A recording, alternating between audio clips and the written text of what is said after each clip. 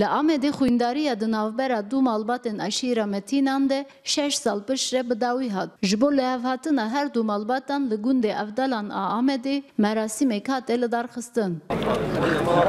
Ji bo aştiyê komeleya Metînan روسپین اشیر نافبنکاری کرن د مراسم له هاتنه د قران هاته خواندن ریوبر کومله اشیره متینن رشید اکن جدا زانین کو خوینداری کونه پرستیه او د وی جناوا کوردان رابه اف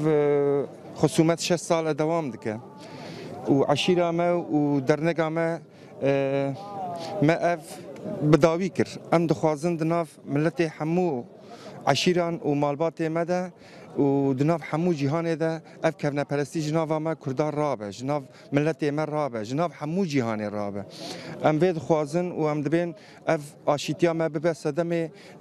آشی... آشیتیا همو عشیران مالباتن کو لیف هاتن جی بالکشاندن یکیتیا کردان و بانگ له همو عشیران کرن کو داوی لخوینداری بینن به همجا نامه ده چیم گدن گدک